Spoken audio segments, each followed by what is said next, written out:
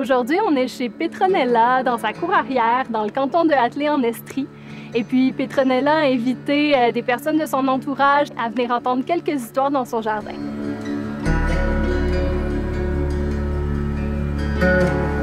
Le conte que j'ai choisi, pour moi, il est particulier dans le contexte actuel parce que c'est comme un hommage à la parole et à la résilience.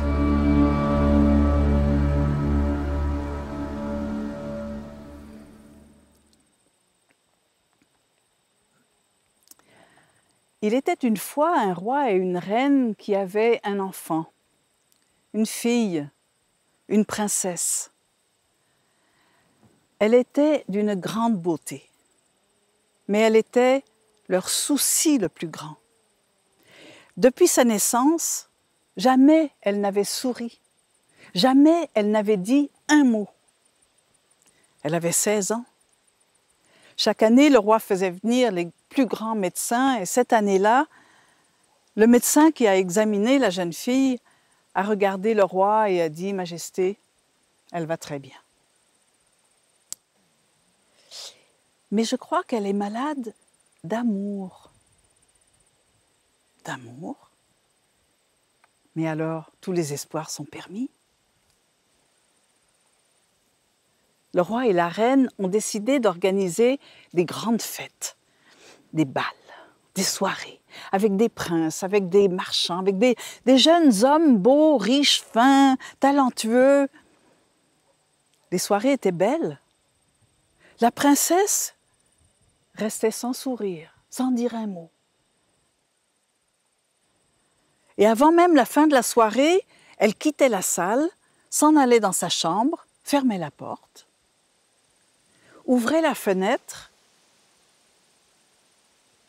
Au loin, par-dessus les arbres du jardin du palais royal, il y avait une montagne. Elle n'était jamais pareille. Ce soir-là, elle était cachée par les nuages. Elle a fermé la fenêtre, est allée se coucher. Le roi et la reine étaient découragés. Ce qu'ils ne savaient pas, c'est que là-haut sur la montagne vivait un berger. Il vivait avec sa mère, avec ses brebis, et il a entendu parler de la princesse qui n'avait jamais parlé. Elle devait être muette. Mais le roi ouvrait sa porte à tous ceux qui peut-être pensaient que... Ah, il en a parlé à sa mère.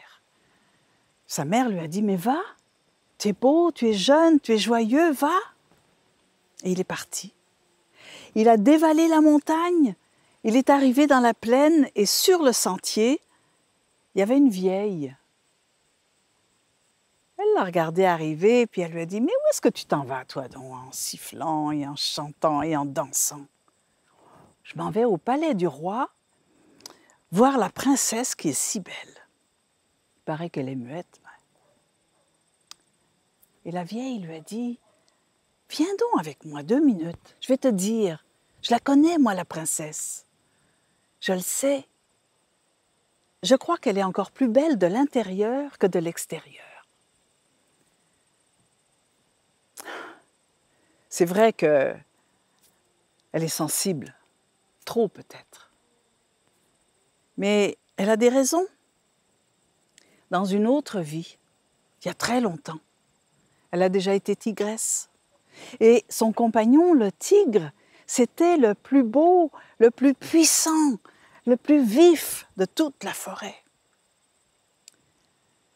Un jour, des chasseurs sont venus. Ils l'ont tué elle en est morte de chagrin. Elle a eu la chance de revenir dans une autre vie, comme perdrix.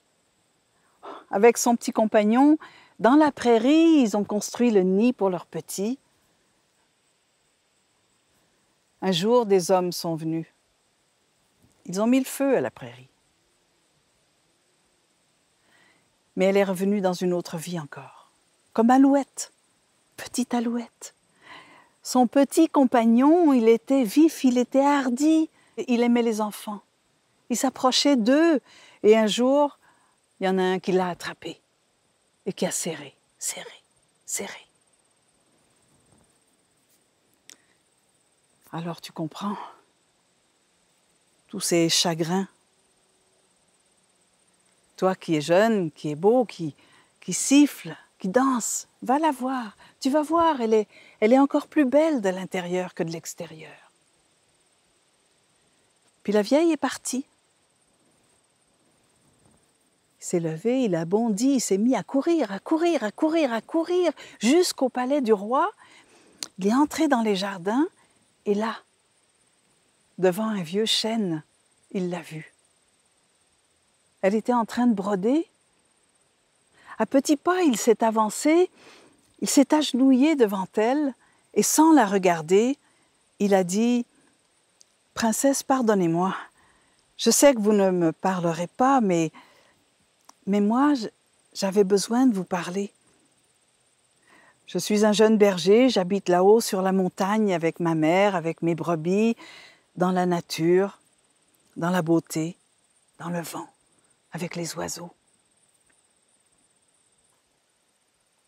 Il y a très longtemps, dans une autre vie, j'ai déjà été tigre.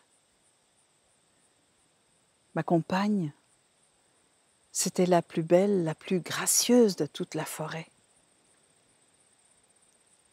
Et quand les chasseurs m'ont tuée, elle en est morte de chagrin. Mais j'ai eu de la chance. Je suis revenue comme perdrix. Oh, elle, elle était tellement belle. On aurait dit que sa robe était de la dentelle. Tous les deux, on s'est occupés de, du nid, des œufs. Mais quand la prairie a brûlé. On a tous succombé. Je suis revenue encore, sous forme d'alouette. Elle était toujours à côté de moi, mais, quand, des enfants m'ont attrapée puis ont serré, serré elle, qu'est-ce qu'elle pouvait contre des poings d'humain Et je suis revenue, comme berger,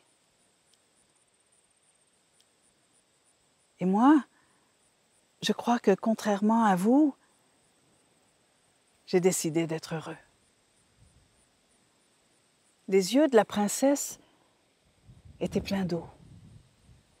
Elle lui a tendu ses mains, ils se sont levés ensemble, elle l'a emmené dans le palais, dans une salle de bain, elle lui a fait signe de se déshabiller, elle l'a lavé, parfumé, habillé de beau, elle l'a repris par sa main, l'a emmené dans sa chambre. Elle a fermé la porte. Et puis elle a ouvert la fenêtre. Ah ben c'est là-haut j'habite. Tu vois, c'est beau. Il l'a regardée. Et elle, pour la première fois de sa vie, elle a souri. Elle a repris sa main, elle l'a emmenée au bord du lit. Et là, toute la nuit, et encore tout le jour, elle a trouvé tous les mots pour dire ce qu'elle espérait de l'amour.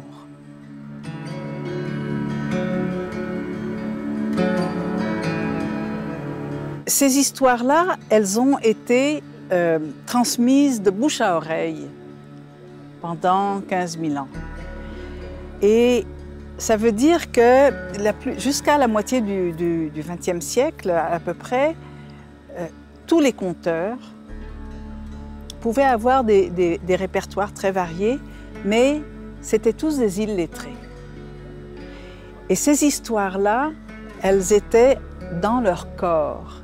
Ça a l'air des histoires qui sont un petit peu simples, mais ce sont des histoires qui représentent en même temps l'imaginaire de l'humanité. Les contes, c'est comme l'inconscient collectif. Il est très chargé, il est très plein, et il peut avoir l'air assez simple mais il y a des couches en profondeur. S'il y a une princesse dans ce conte-là, la quête euh, qu'elle mène, les épreuves qu'elle traverse, font en sorte, cette jeune fille-là, font en sorte qu'elle va devenir princesse. Et pour moi, c'est comme elle a atteint ce qu'elle avait de plus puissant en elle. Il faut aller voir au-delà de, de ce symbole-là comment, dans l'inconscient collectif, ces personnages-là ont été euh, marquant pour l'avancée de l'être humain. C'est la première fois, personnellement, que, je participe à un événement comme celui-ci, puis que j'écoute finalement une série de petits contes comme ça. Ce que je trouve vraiment le, le fun, finalement, c'est que dans un monde où on vit, où tout est rapide, où on est habitué à la télé, les effets spéciaux, euh, où euh, c'est ça qui fait vibrer le monde en ce moment, j'avoue que moi qui suis très occupé, que je travaille beaucoup, j'ai réussi réellement à décrocher. Pendant que j'ai écouté ces trois contes-là, il y avait juste ça qu'il y avait dans ma tête. Je l'écoutais, je la regardais, je rentrais vraiment dans son conte. Là. J'ai trouvé ça personnellement extraordinaire.